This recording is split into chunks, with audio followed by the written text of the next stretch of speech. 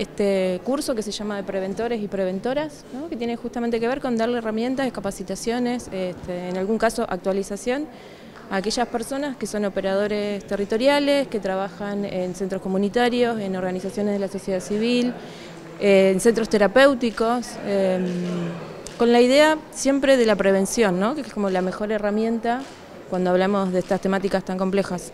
Como el, taller, el, el, curso de capacitación es muy específico, hicimos un cupo de 100 personas, tenemos muchas más interesadas, vamos a trabajar en una primera instancia con este grupo, que fueron seleccionados de, de cada uno de los territorios, hicimos como un Sí, una, invitación muy específica a personas que ya vienen, que ya tienen experiencia en el terreno. Es como, es una actualización, estamos arrancando de cero, no le vamos a contar a nadie de qué se trata esto, es gente que está especializada, que se dedica, que en su trabajo cotidiano realiza esta tarea, lo que vamos a hacer es dotarlas de mayores herramientas y actualizaciones en torno al tema. ¿Qué han relevado aquí en la ciudad de Santa Fe? ¿Cómo estamos como capital provincial en cuanto a consumos problemáticos? Como decía antes, es un tema complejo, ¿sí? sin duda este, hay, van creciendo los números. ¿sí?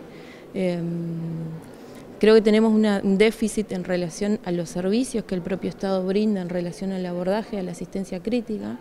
En ese sentido nosotros eh, como gestión municipal decidimos armar este equipo, desde diciembre logramos un convenio con la provincia que nos va a permitir generar un centro terapéutico diurno, que entendemos que es uno de los dispositivos que faltan eh, desde el Estado. Si nosotros tenemos mucha confianza en lo que hacen los territorios, en lo que hacen las personas que están en las organizaciones de la sociedad civil, pero entendemos que el Estado tiene un rol fundamental y que es tarea del Estado generar más cantidad de dispositivos que puedan dar lugar a eh, abordajes terapéuticos, intervenciones complejas, eh, con profesionales.